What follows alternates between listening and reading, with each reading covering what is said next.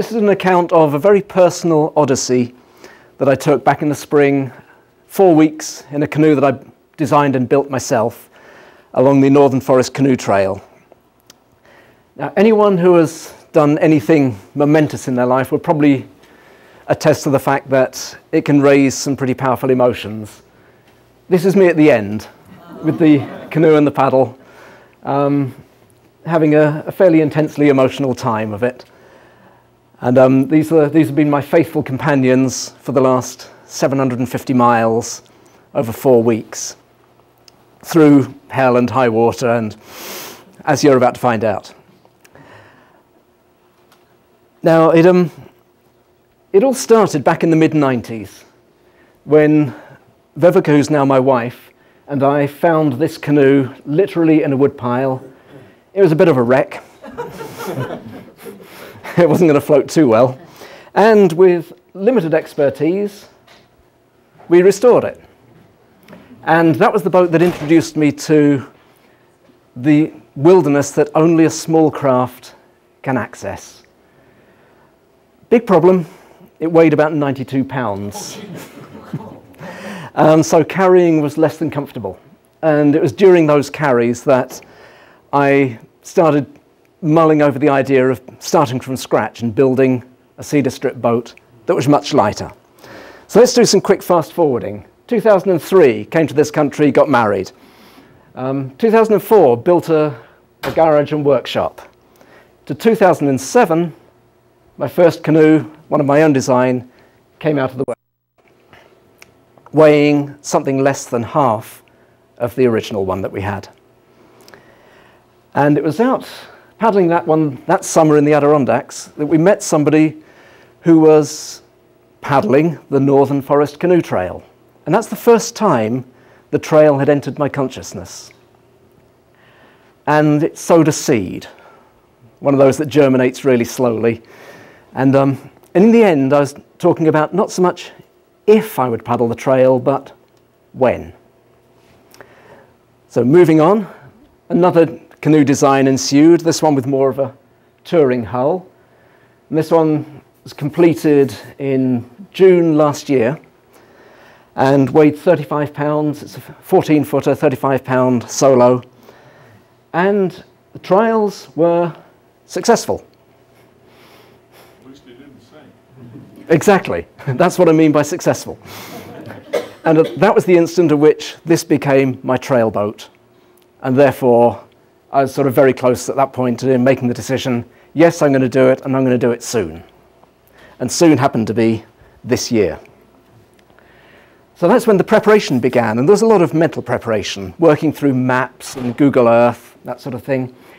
Um, a lot of practical preparation. Come on in, come on in. A lot of practical preparation, things like buying a whole load more dry bags. that was portentous. And um, kitting out the canoe with knee pads for kneeling, arranging how to stow paddles and poles, life jacket, so that I could still carry the thing without upsetting the balance.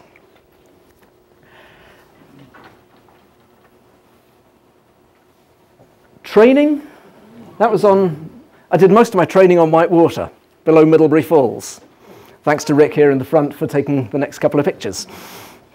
Um, whitewater training was, well, whitewater was the experience that I most lacked. Canoe camping, no problem. Whitewater in a canoe, done plenty in a kayak, not that much in a canoe. So that was, so forget the facial expression.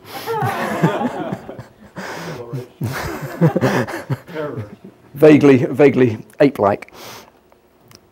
Now the Northern Forest Canoe Trail, it's, um, it's not just a single waterway, it's a series of more or less interconnected waterways. And they're very traditional waterways. They have been used for trade, as warpaths, as military and industrial highways, as um, more recently recreational pathways. And it starts over in the southwestern Adirondacks in Old Forge, cuts across the Adirondacks to Lake Champlain, up the Missisquoi across northern Vermont with a loop through Quebec, um, Lake Memphremagog, across northeastern Vermont, across northern New Hampshire, and way up into northern Maine to finish at Fort Kent on the St. John River. The official distance, 740 miles. Upstream and down, white water, placid water, big lakes, small ponds, the works. The next one, this, this shows you the red at the beginning here. That's Old Forge, that's the starting point. The other pins are my overnight points along the way. Well, other than the end here, which wasn't an overnight. It was the end.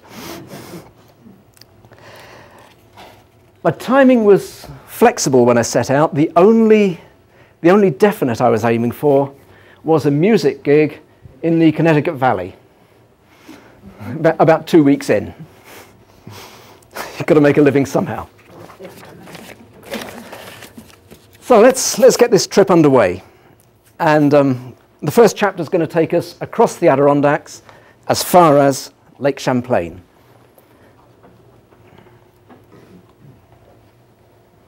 The beginning. Set out on the 19th of May, and um, there I'm looking sort of clean, clean shaven, green. And first day, I made good mileage. At 18 miles, where I'd proposed my first campsite might be, it was on the island up there. I was feeling good, so I went straight past it. Got as far as Raquette Lake and slept in a lean to that night. And I remember thinking at that point, so far, it's just a day trip. True so far. By tomorrow, it'll be a camping trip. Tomorrow came, and that, the route took me to the north of Raquette Lake, over into a carry into Forked Lake, down the Raquette River, along the full length of Long Lake. Anyone who's paddled Long Lake will recognize that as one of the iconic views of the Adirondacks. and um, then down more of the Raquette River to its junction with Stony Creek, which is where I camped for the night. That was over 39 miles that day. Um, and I was feeling good with it. It was just a long day, nothing strenuous about it. And one of my goals there was actually to gain a bit of time on my proposed schedule because my schedule didn't allow for any delays. so um, but at this point, I was round about half a day ahead. That night, a thunderstorm struck about two or three in the morning. Jumped ahead. Camping. Didn't use a tent, I used a camping hammock.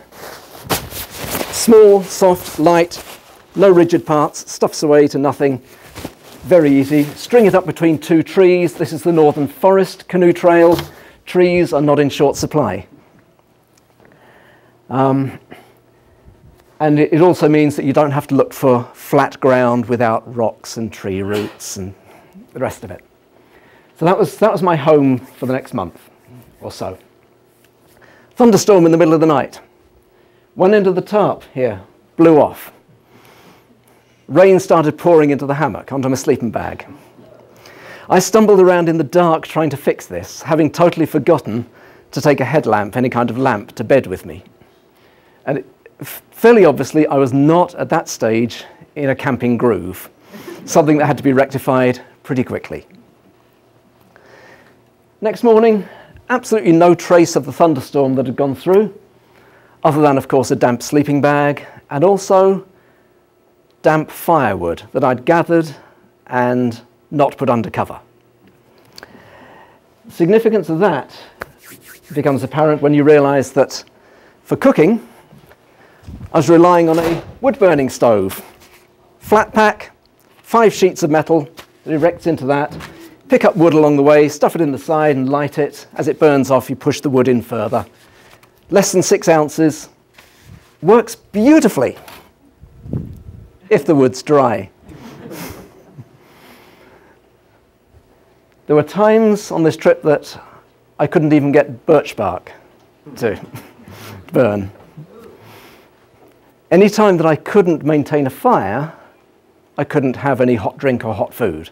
I was living on trail mix and cold water. which is not the best.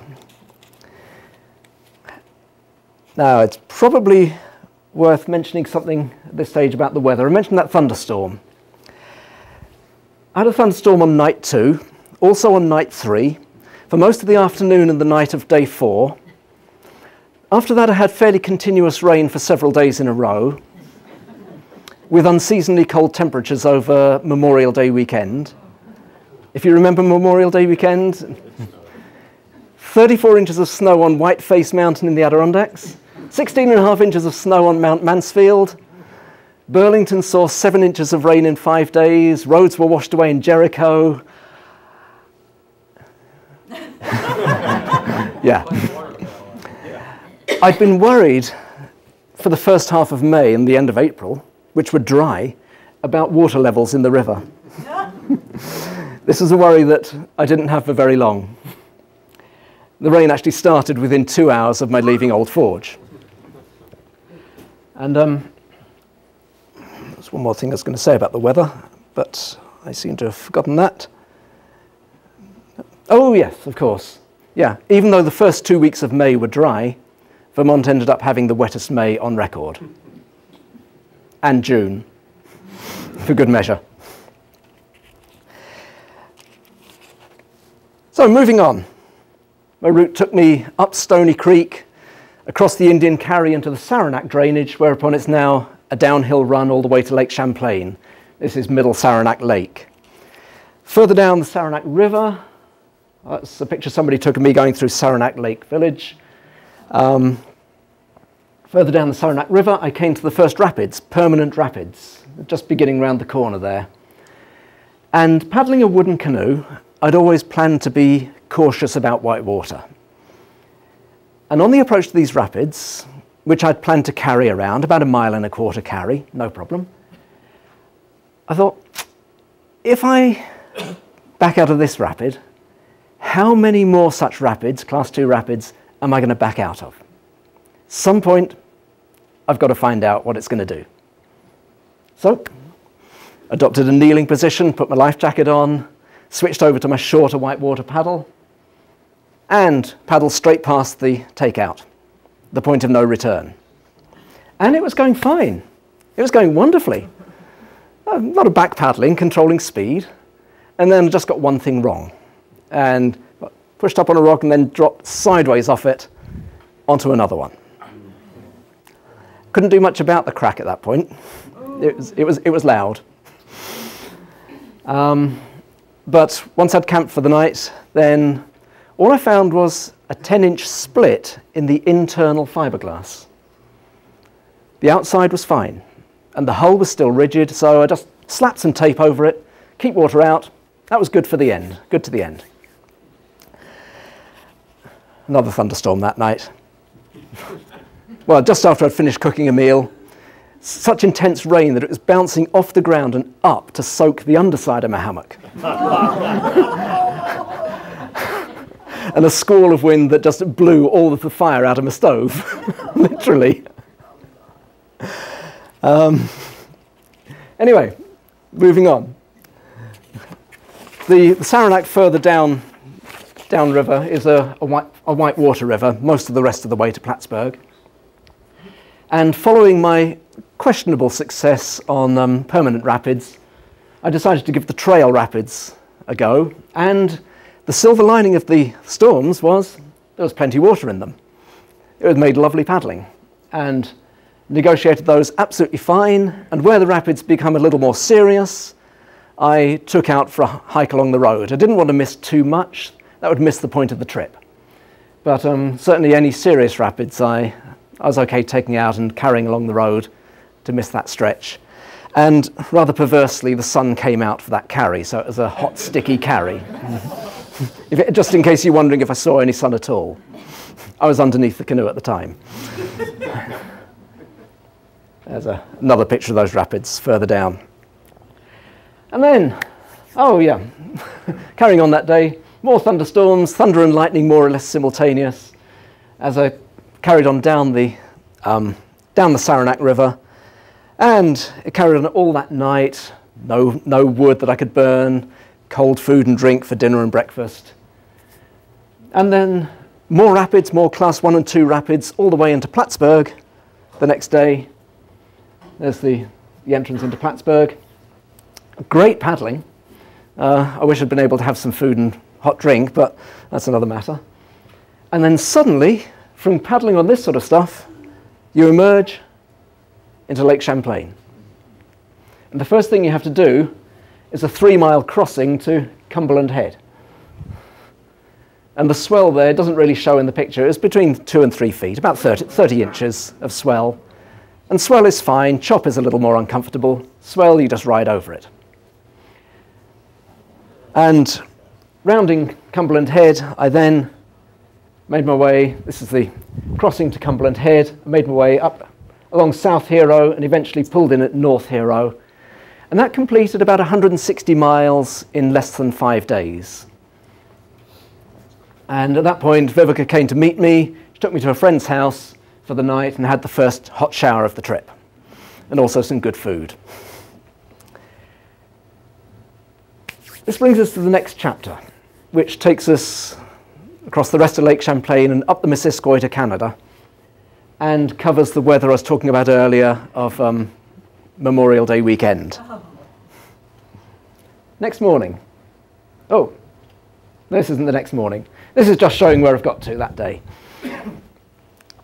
Next morning, put back in at North Hero, exactly where I'd taken out.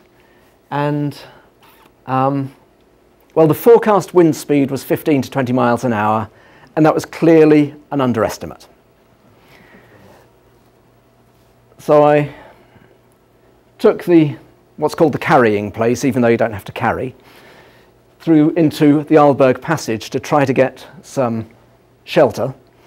And even there, um, it was a battle to make progress, head down into the wind, paddling. Th this was really the start of nine and a half hours of the most brutal paddling that I think I've ever undertaken. It's really brutal. Um, head down to the wind. the wind was driving rain down my neck, up my cuffs, and these are with close-fitting cuffs. It was um, just whistling past me, taking body heat away, and it was only really the strenuous paddling that was generating enough heat to keep my body temperature up. If I stopped, I could feel my body temperature sinking.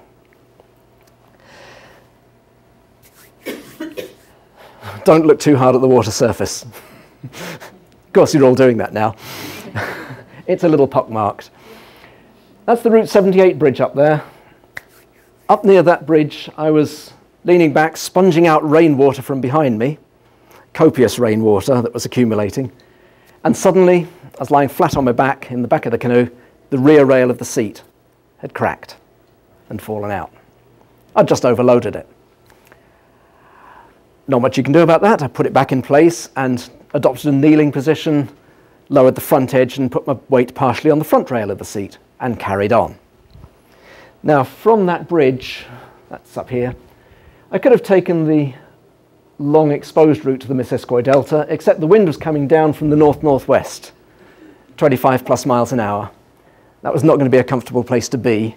So I hugged the shore pretty much up to the Canadian border, maybe over it, I'm not too sure, before then setting out amid somewhere near three foot chop now, which was uncomfortable, to cross to the Missisquoi Delta.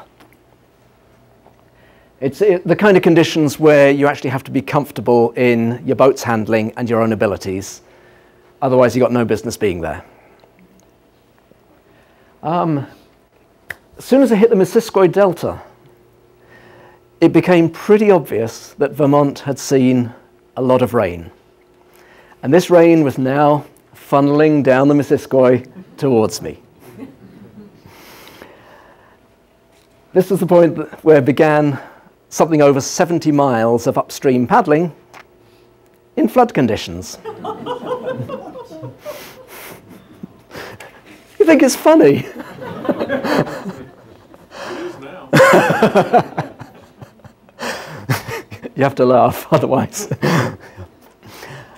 um, yeah, there's an art to paddling upstream, choosing which side of the river to be on, where, where are the eddies strongest, judging how frequently to cross over the river, probably losing ground to do so, merely to get access to stronger eddies, planting the paddle where possible in the slackest water to get maximum propulsion. And I was busy working all this out in my, in my head and also wondering what I'm going to do about this rear rail of the seat, processing all of this stuff, and suddenly I'm sitting that much lower, and the front rail of the seat is now cracked. I've got no seat. So I take to sitting, uh, to kneeling, sitting on my heels, paddling, and it's, it's okay, it's quite comfortable. I hadn't really planned on doing that all the way to northern Maine. and paddling along like that, I was thinking, you know, what I could really do with is something like an exercise ball. Because I could sit astride that and it would be comfortable. It would work. Bear in mind that I'm now about six hours into a day of seriously strenuous paddling. It's bitter conditions, driving north northwest wind, heavy, intense rain for most of the time. I've got a broken seat. The whole trip really is in jeopardy. A positive outlook is, is difficult to maintain. About a couple of miles further up, it was highly surreal then to come across floating in an eddy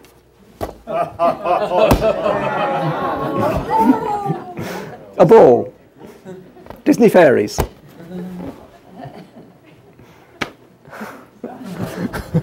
Believe what you will. Sat on that ball and paddled, sort of buoyed by this improbable good fortune, all the way up to Swanton. You can see the water piling over the dam there. And um, was very glad to be able to spend the night in the, in the motel there. Next morning, one of the first things to do was to work out what to do with the seat. A piece of cherry shouldn't really look like that. So I went into Aubuchon, bought some aluminium angle, some nylon cord, and lashed the angle to the seat, both rails, and put it back in the canoe, and it worked. I wasn't totally confident that it would last for the next three weeks. So the ball came with me. My insurance policy, because a second one wasn't going to turn up if I really needed it. then back to the river. Got back to the river, it was flowing much higher and faster than the previous day. I could barely reach the takeout for Highgate Falls, and when you look at that, you probably understand why. That's taken from the top of Highgate Falls. This is the top. Down there, that's about 30 feet lower down. It doesn't really show. All the spray, that's bouncing back from the bottom. Um, Are you moving against that? I'm moving against that, yeah. well, well I, I, carried on the bank around this particular. yeah. But, um, yeah. It was a day of painstaking pro progress. Um, I'd talk to myself, advising myself to have a lot of patience out loud. Okay, first sign of madness, I know. But talking to myself, advising patience, it was absolutely essential that I didn't do anything rash and risk a swim. Because a swim, I, I would certainly have lost the canoe and the pack. I could have lost more than that in conditions such as these. So that's, that's the kind of thing again, I think progress had become impossible there, so I'm out on the bank um, doing another carry. Now, all day the rain continued, and I'm slogging upstream and upstream and upstream, carrying where necessary, getting colder and colder. I can just feel my body temperature dropping and dropping and dropping all the time. And eventually, I got to the Abbey Rapids, which is somewhere west of Enosburg Falls couldn't make any more progress, so took the canoe out and got up onto the, the bike path there, the old rail trail, and was carrying past the Abbey Rapids and realized that I had the symptoms of hypothermia. Very, very intense shivering, coordination was beginning to go. So it was essential to get into, into some sort of shelter and pretty soon. Obviously, if you can recognize the symptoms of hypothermia, it's not yet too bad. Before long, the Abbey restaurant came into view amid the gloom, and without any thought other than warmth, I just put the canoe down and went in and stood there, pack, clothes dripping on their floor, shaking, trying to maneuver hot chocolate into my mouth. It was not easy. And um, I was asking about accommodation, and somebody, somebody suggested the dairy centre. It's only six miles up the road. yeah, it's taken me all day to do 17. Somebody else suggested a motel a mile back in the other direction. Okay, wrong direction, mile walk, I'll do it to get indoors for the night. But then a couple celebrating their 30th wedding anniversary came in for a meal and we got talking, and they spared me either of those. They took me home with them for the night. Trail angels. so if Scott and Diane ever see this, this picture, thank you again. Next morning, they dropped me back at the Abbey restaurant, and I continued the upstream.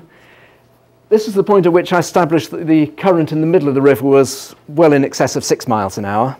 So I, I, cruise in that canoe at four miles an hour. If I sprint, probably a little over five. So once I was warmed up, I got in the middle of the river and sprinted as hard as I could and went steadily backwards. so at least six, probably seven miles an hour current. So under trees, behind trees, up the eddies, wherever they might have existed, that was my existence that day. And it was a long day up past Enosburg Falls, and observed, totally unknown to me, by someone who was watching my online waypoints that I was leaving. More about those in a minute. There's a whole network of trail enthusiasts out there who were talking to each other and were following my journey.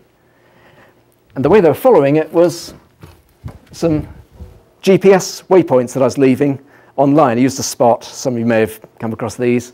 It doesn't tell me where I am, I got the cheap model. but at the press of a button, I could leave online waypoints, and um, so others could follow that on a website. And I, I, could also summon the cavalry if needed, so it was a safety device. Um, I could summon my support crew to pick me up if needed. Whoops. Let's, let's try a pocket for this one. So that's me pushing off the bank, photographed by somebody who knew roughly where I was, came out and took a picture. He also took that one, and that, that sort of summarizes, summarizes the day. Long, cold, wet, lonely. That was a carry that, that was an extra carry that I was having to put in uh, because progress on the water had just become impossible.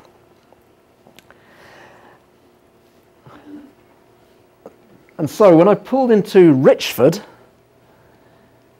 I'd just achieved about 20 miles of upstream paddling in one day in those conditions. And it was, um, it was a moment where I, I did allow myself a little bit of pride. I know it's one of the deadly sins, I don't care. Let it strike me dead. and there was an inn just across the, the road from the river the Grey Gables, and my welcome was here's a log fire, stand by it. I don't care that you're dripping all over the place. I'm off to get you a pot of tea and some muffins. Just stay there and warm up. Yeah, doesn't get much better than that. So, um, so I had another night indoors. Next morning, that, that's Grey Gables. Next morning, I saw something I hadn't seen in all too long blue sky and sun. But just because it's a nice day doesn't mean it's easy paddling. So I was back finding what eddies I could behind the trees and ended up having to carry some sections because the river had dropped a bit, it was now confined more within its banks, eddies were harder to find. So there were some parts of it which had to be along the road. Luckily, there is a road there, Route 105 and then 105A, to the Canadian border. And after crossing into Canada, the paddling became easier. I wouldn't say easy, but at least it was possible in the eddies. And yes, this looks like a nice day. It was for a large part of it. And at the end of that day, I'd reached Highwater Quebec. And at the end of day nine now, this is day nine, I saw the first sunset of the trip. I was also privileged to see, round about the time of taking this picture, high water in Highwater, while a flock of Canada geese flew overhead in Canada. Later, that was supplemented by a moose beside the Moose River. now,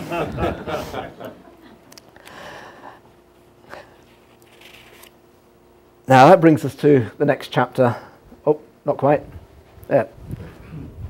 The only night in Canada. The next chapter takes us to the halfway point in terms of time and to, to the rest day. So it involves the Grand Portage, it involves northeastern Vermont, getting down to the Connecticut Valley and a bit further.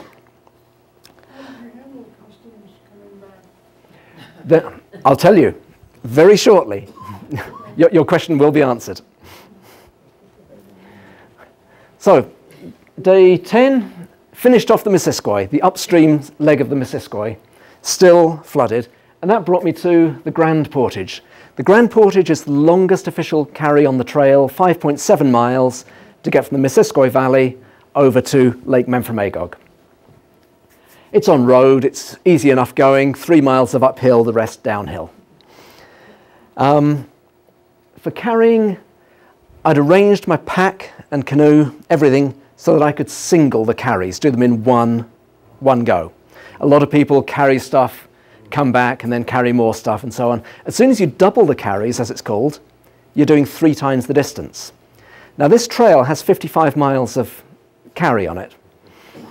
That makes 165 miles of walking if you double them. There, back, and there again.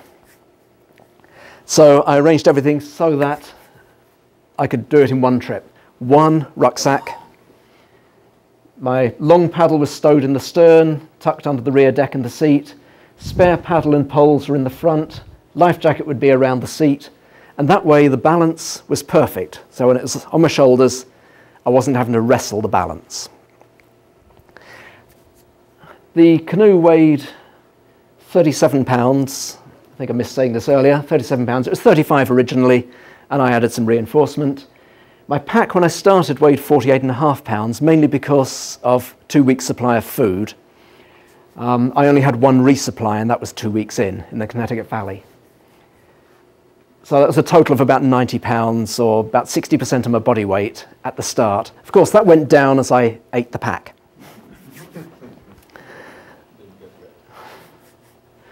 so, Lake Memphremagog arrived about two hours later, and paddled down the lake into a headwind. I got a south wind for once. yeah, there are certain, certain elements of irony. And at Newport, right on the dock there, to answer your question, sir, is a video phone where you can check back into the US. And you just press a button, and your picture appears on the screen, and you talk to somebody, and you hold up your passport, and in my case, my green card as well and, and try and convince her that, yeah, no, I am a permanent resident, I'm not just a visitor. No, this address is not my holiday home. okay, but it was relatively straightforward once she understood me. and then I set off up the Clyde River as far as Clyde Pond for the night. That's actually the next mor morning. Um, and slept there for the night. Now, the section upstream of Clyde River is it's recognized as being difficult. It's a fairly steep-sided valley, class two rapids, very rocky, fast water, um, difficult to make headway. I felt obliged to have a go at it. I didn't want to miss everything just by walking on the road. So I had a go. I paddled upstream, did a bit of eddy hopping, um, got out, carried along the bank for a while, did a bit of wading, pulling the canoe. I couldn't, I couldn't actually line, uh, sorry, track the canoe upstream using bow and stern lines because the, as you can see, the banks are a bit overgrown. I was only going to get tied up. And worked my way upstream until eventually it became obvious that I really wasn't going to make any more progress. Certainly not on the water or in the water, nor on the banks. Too steep and overgrown for carrying. So turned round, headed back downstream, rode the rapids, back to Clyde Pond, and went for a walk. It turns out that not all roads on maps actually exist. and this turned into a seven mile carry the day after the Grand Portage.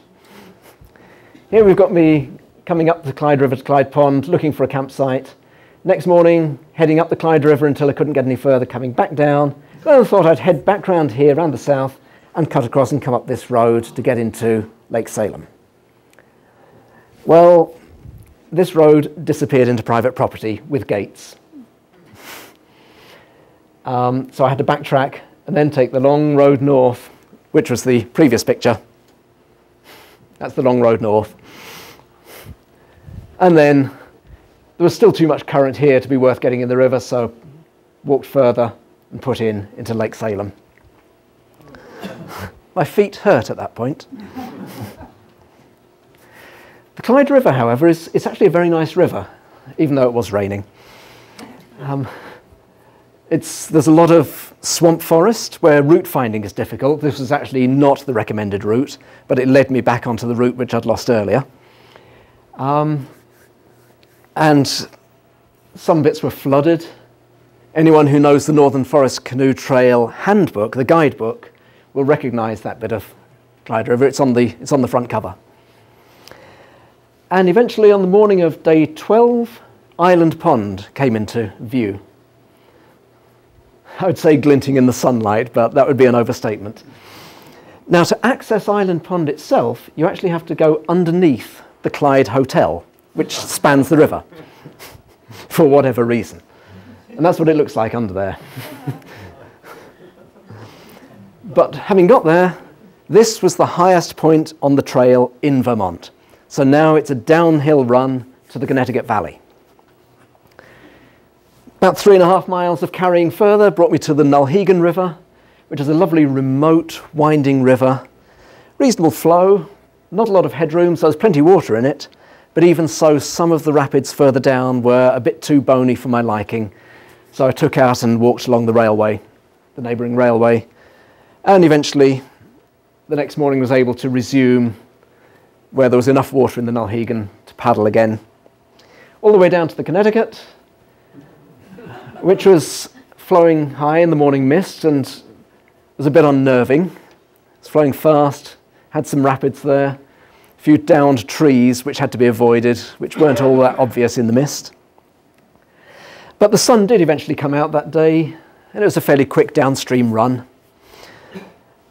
And fairly soon, I was heading upstream again on the upper Ammonoosuc, so we're now turning across northern New Hampshire on the upper Ammonoosuc, and this is Groveton, New Hampshire.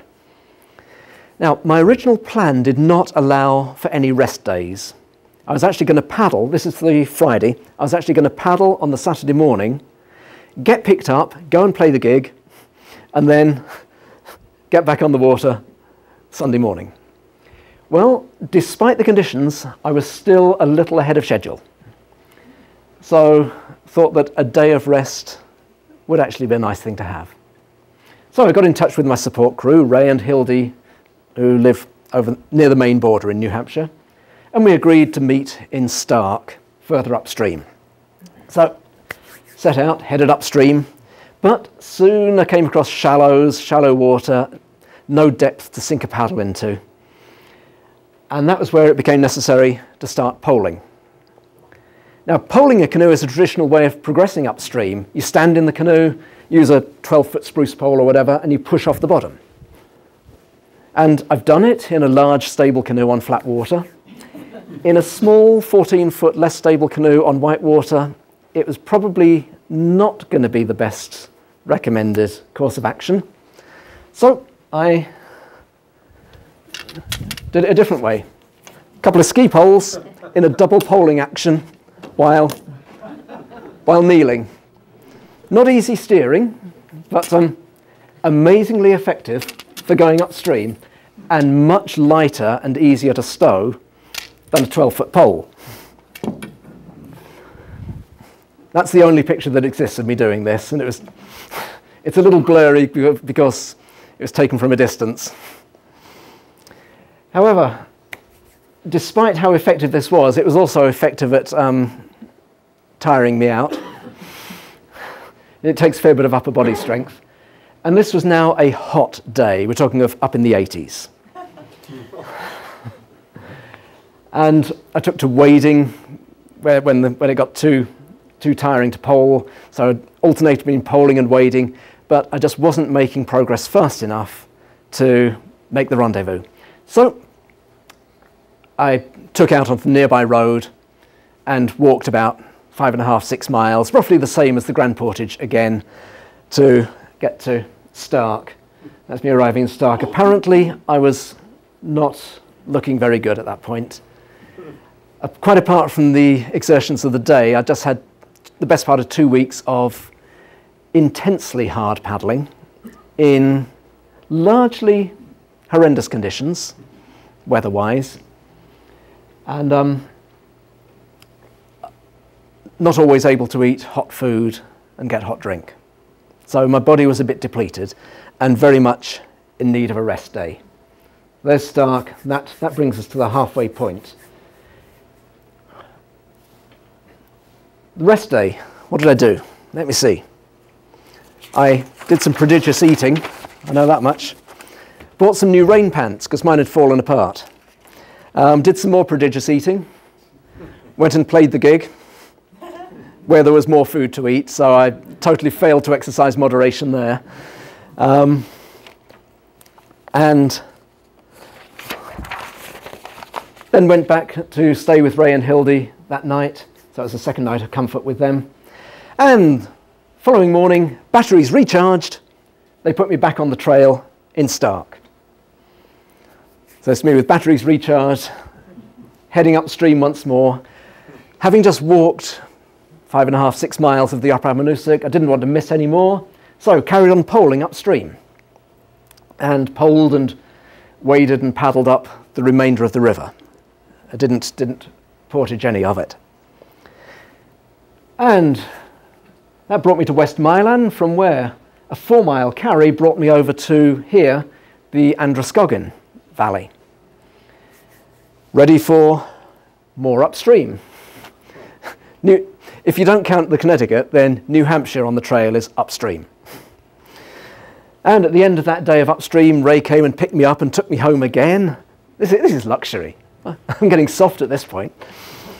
Took me home again for a night of comfort, albeit with no electricity, knocked out by violent thunderstorms earlier in the day.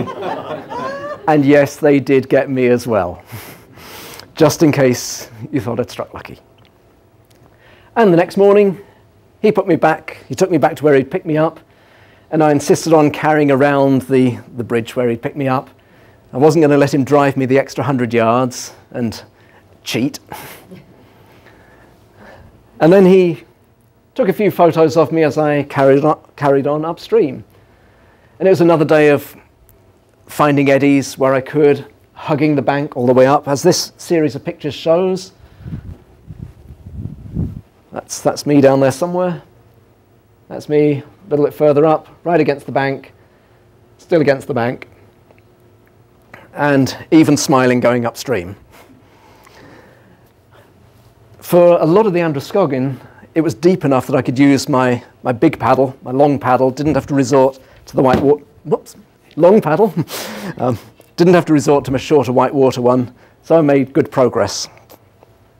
And above Errol, the Androscoggin opens out into Umbagog Lake, and the far side of Umbagog Lake, there's another three mile carry. There are a lot of three mile carries on this trail. Past the Rapid River, some class four rapids on the Rapid River, and that emerged into Lower Richardson Lake, where I stayed at a camp of a friend of Ray's in a little shack. I, I, took opportunities to get undercover when I could. um, because the nights were insanely cold, certainly low 40s, often down into the 30s. There were some nights I was surprised not to see frost in the morning. Um, most nights I actually slept with my head inside my sleeping bag, simply so that I could recycle the heat in exhaled air. Next morning was bitter. Bitterly cold wind, driving rain a lot of the time, up Lower Richardson, Upper Richardson Lake, and then a long haul to the northeast of Mooselookmeguntic Lake. And if you're wondering about the wind, just, just look at the flag. it's not merely fluttering, it's fluttering. And from there, I took a hike to Oquossoc, which is on Rangeley Lake, through some road work, and the, the flag person radioed the other end as went past. There's a guy with a canoe on his head coming through. anyway, in, in I took refuge in a cafe for a while, which was a great move because the sun came out for my trip along Rangeley Lake. And with this really strong wind now more or less behind me, I covered the 10 miles to Rangeley in an hour and three quarters without really trying. Arriving a little bit windblown.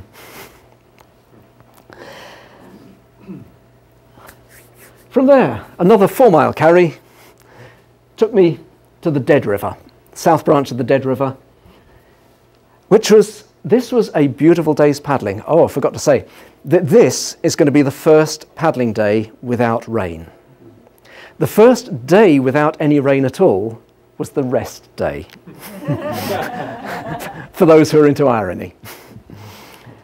Okay, the Dead River, very beautiful river. A lot of people struggle with the water level being too low. I didn't have that problem there were some great rapids. They were a bit bony in places, requiring some negotiation. And I did pick up some scratches on my canoe that day, but it was otherwise a beautiful run down the Dead River all the way to Flagstaff Lake. And I stayed in an inn in Stratton that night. Stratton, we're now well up into Maine. And that was one of only two remaining indoor nights on the trail, which is why I took it. Next morning, negotiated Flagstaff Lake. It was calm for the 20 plus miles of Flagstaff Lake. And that took me to Long Falls Dam, carry around there. And it was just past there. This is the dam that created Flagstaff Lake in round about 1950, late 40s, 1950, flooding Flagstaff Village. Just past there, I came across a rapid, which was a, um, a class 3 rapid. Now, I'm, I'm okay up to class 2. Class 3 in an open boat, is a bit beyond my experience, other than a little bit below Middlebury Falls back in early May. But I could see down to the end of the rapid, the pool at the end, about 200 yards away. And this was just too enticing to miss. So I went for the wild ride, and it was worth it. Took on board a bit of water. Rucksack got a bit wet, but who cares? it was getting wet from the rain anyway. Not that day. Further down the Oh! Yeah, wildlife. As yet, I had not seen a moose, but I'd seen plenty of bald eagles, plenty of mink, otter, couple of fishers, um, beaver, including one that I startled on the bank, and it took the shortest route to water straight down the bank under my canoe. Um, herons, kingfishers, osprey, snapping turtle, the works, everything but moose so far. A bit further down, the Dead River is interrupted by Grand Falls. Here, I made a potentially serious mistake. Not that one. I successfully carried around them. Just below these falls, I knew I had to turn left to go up Spencer Stream. But I was faced with an island, and the water was deeper on the right of the island, so I took the deeper water. And immediately round, round that island, I saw a rapid up ahead, so adopted whitewater protocol, life jacket, short paddle, kneel down, and started down this rapid, thinking, I don't recall any mention of a rapid here. So I pulled into this eddy and looked at the map, looked at the compass, back and forth a few times and realised that I'd probably missed the entrance to Spencer Stream. A quick recce confirmed that. It was hidden behind the island. I was busy heading down one of the best whitewater runs in the northeast. so I had to carry back up to get back to Spencer Stream, which is the last official upstream of the trail. And it had caused me some concern. How do I sort of not only navigate upstream in rocky conditions, but also how do I find the way when there are different streams joining?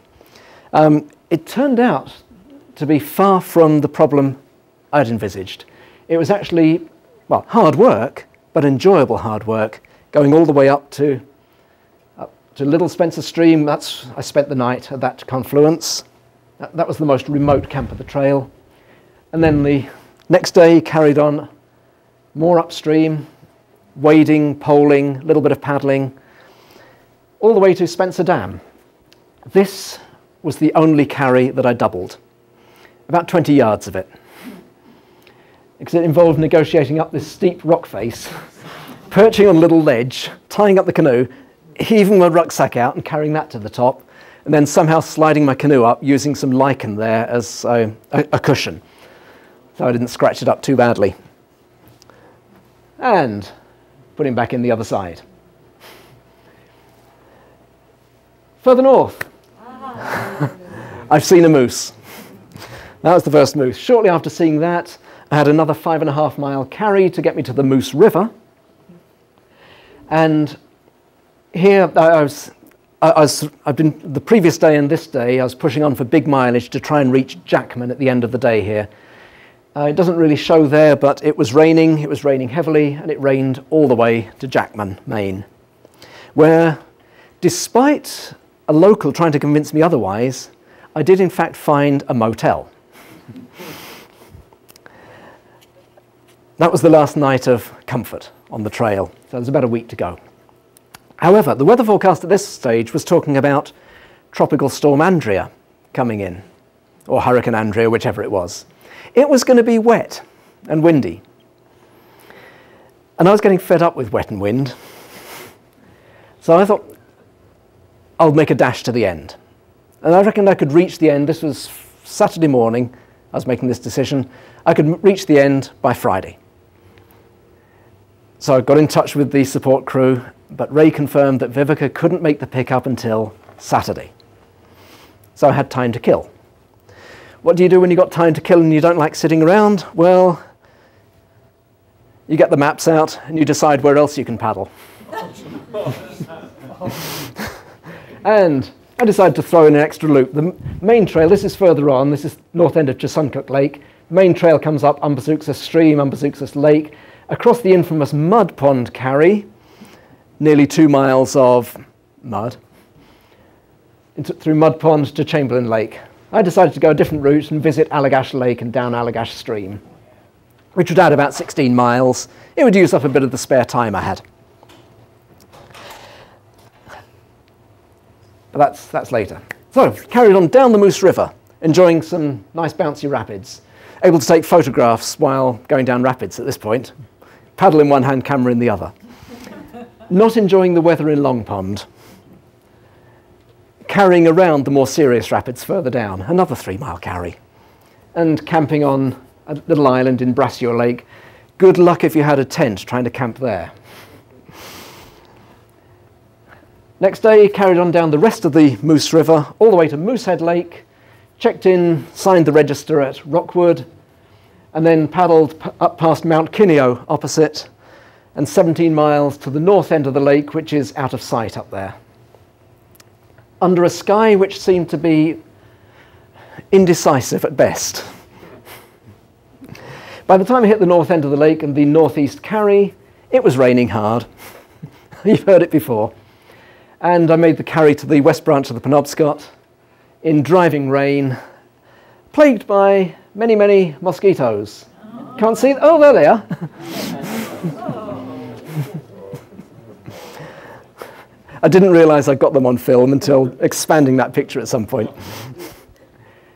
so my initial perception of the west branch of the Penobscot, oh, you can also see the raindrops coming down, streaking. Uh, my initial perception of the Penobscot was pretty dismal. Next morning, beautiful. Not only was it beautiful, there was the scent of balsam fir all the way down the valley. It was a gorgeous sensory experience going down that river. Um, of course, th- these rivers in Maine are strips of wildland through a big logging industry. Uh, so you only have to go a few hundred yards back from the river and you meet logging activity. But where I was, it was great. That was a day on which I saw eight moose, three in one go. And at the end of that day, I came to Chesuncook Lake and check the weather report. It's worth noting this one. Weather report for the following day 30% chance of showers after 1 pm. Got that? 30% chance of showers after 1 pm. So I headed up the revised route, camped for the night.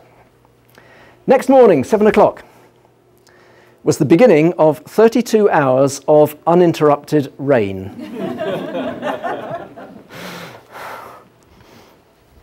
Carried on upstream, this is up Caucomgomoc Stream. More wading, poling, a little bit of paddling. And then up Sis Stream, which reminded me of Eeyore's gloomy place, rather boggy and sad, especially when I saw a moose wandering away. And that brought me to, eventually, after another three mile carry, Allagash Lake in now torrential rain. Uh, at this point, I'm getting quite cold, but I go and check in with the ranger, I paddle around the headland to check in with the ranger, and I sat with him for about an hour and a half chatting, waiting for the rain to die down. It didn't. The only thing that subsided was my body temperature. Eventually, I just had to come back out into the rain, paddle to the north end of the lake, four and a half miles, to find a campsite, at which point I was once again hypothermic and very strongly recognizing it. So I strung up my tarp so I could get everything underneath it, grabbed a bag of dry clothes and ran for the outhouse. And there, in a space about three feet square and not exactly fragrant, stripped off all the wet clothes, replaced them with dry, and then got back under the tarp and cooked a meal, now using a little gas stove that I was carrying since resupply. so I could have hot food and drink and gradually warmed up. Next morning, well, the rain carried on all night. Next morning, when I awoke, it was still going, and I was not a happy bunny. It was perhaps the lowest point. I sort of, I toyed with the idea of just lying there forever. What was the point in getting up? It took me over an hour to summon up the motivation to get out of the sleeping bag.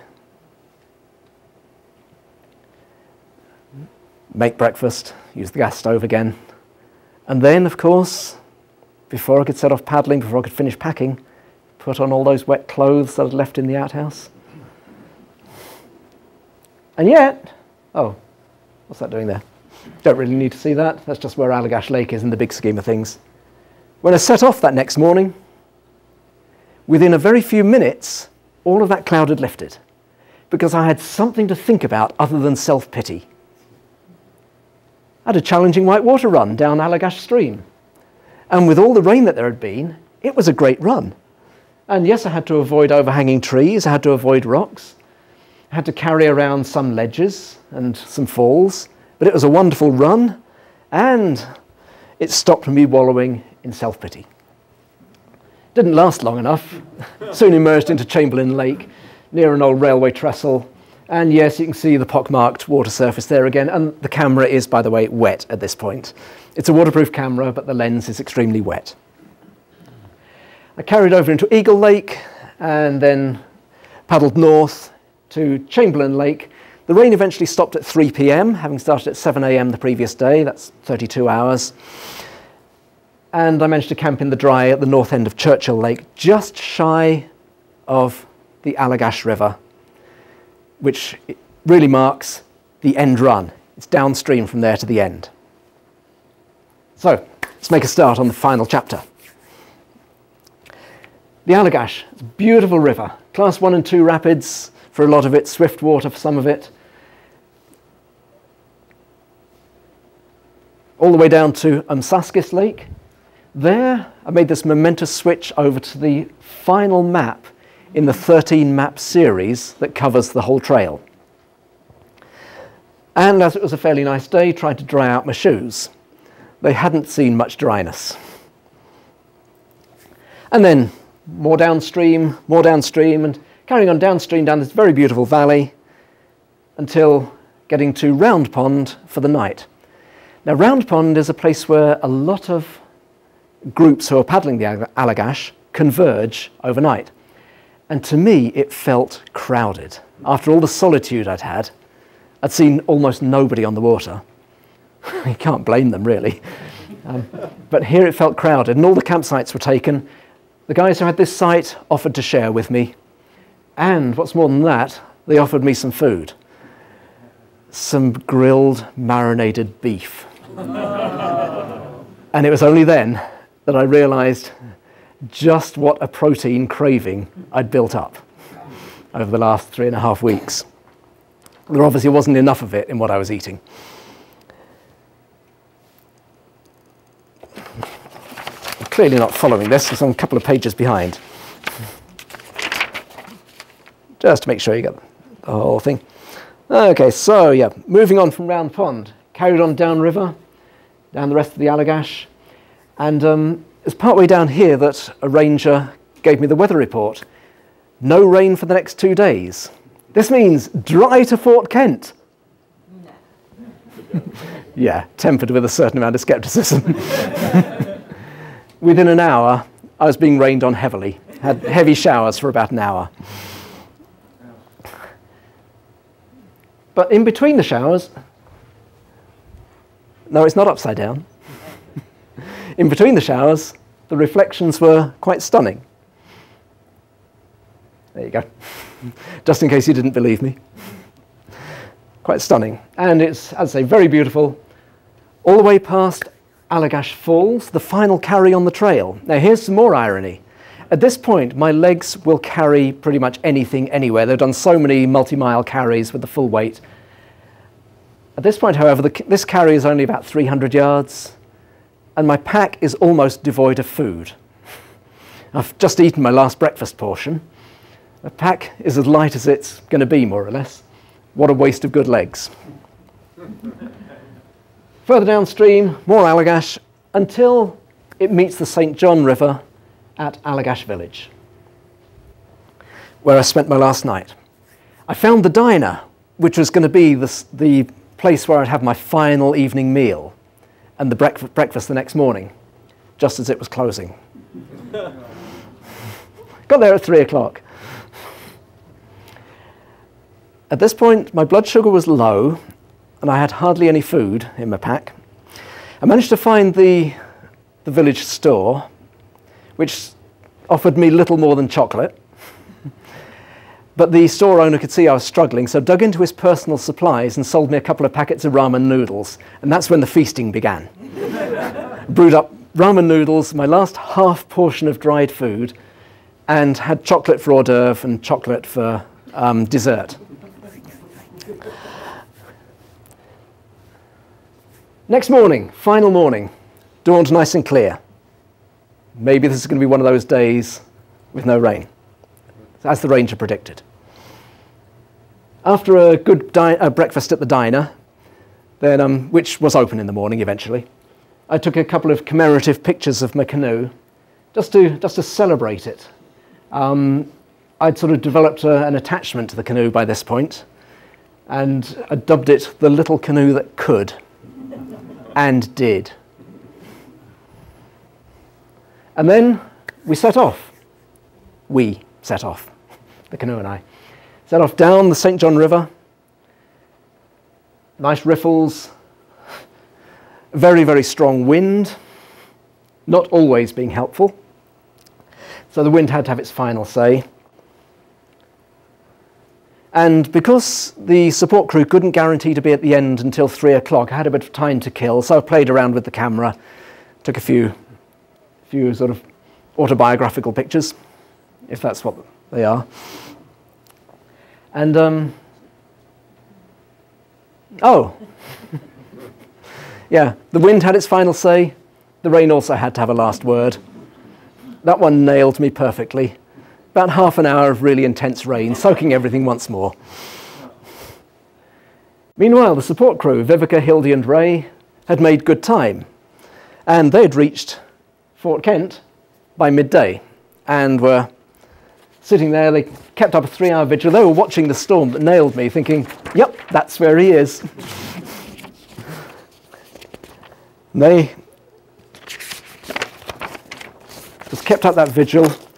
They, they were the support crew who had had my back throughout. I didn't have to call on them to be picked up or to bring repair materials, but knowing that they were there and would have done anything I needed was a comfort through the miles.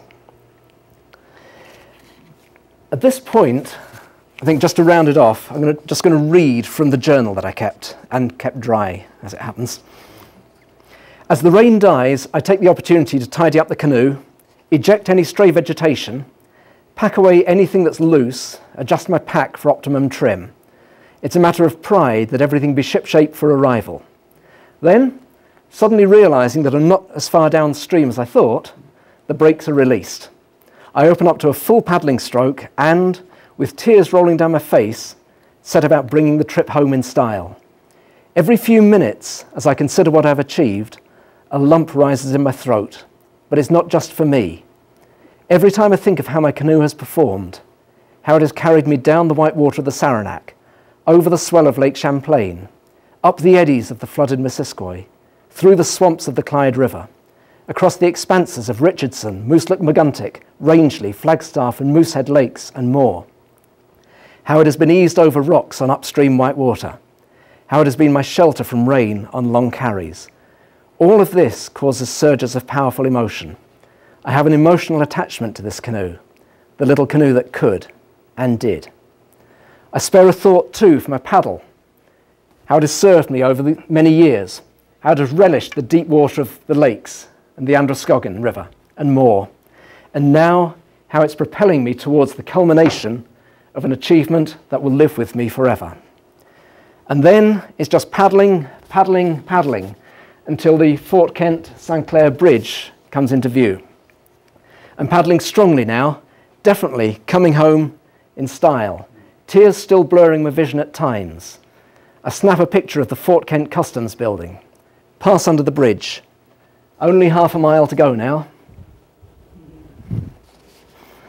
Only half a mile to go now. I have no idea of what I'm looking for, but I'm confident that I will recognize it when I get there. And then, at an innocuous little clearing on the right bank, I see two figures. There's no mistaking Vivica and Ray. Hildy eludes me for the time being. I make a beeline for them, still paddling strongly, but easing off just a little. It's 3:10 p.m. when I step out of the canoe for the last time on this trip and into a long-awaited hug from Vivica. Hildy and Ray are next. Hildy pausing her camera duty for just long enough. This is the support team that has had my back throughout, and even though I've not had to call on them for rescue or repair, the knowledge that they were there and willing to do whatever was necessary has been a comfort through the miles. During this reunion, I've been feeling a little callous. My canoe is sitting there by the river, ignored. Four weeks of dedicated service, and now I merely step away from it into the arms of others. I return to it once more. There's one last carry that we have to make together. My paddle secured in the stern, my pack on my back, and being understood when I decline the offers of help, I hoist the little canoe once more to walk with, this time Vivica by my side, up to the kiosk, the official end of the trail. There follow the ceremonial pictures, sending the final spot, quick fire answers to the so many questions that come my way, signing the register, discussing equipment successes and failures. In the middle of all of this, I sit down by the canoe, cradling my paddle, and have a quiet, emotional moment with the equipment that has carried me far and has brought me safely home. It's a moment that I have known for a long time would happen, but only now do I realize the intensity of the emotion that accompanies the disbanding of this close knit team. Yes, we'll paddle together again, but maybe never again will we share the trials and tribulations, the delight and despair, the hard work and the easy cruising, the hundreds of solitary miles of the last four weeks. Thank you.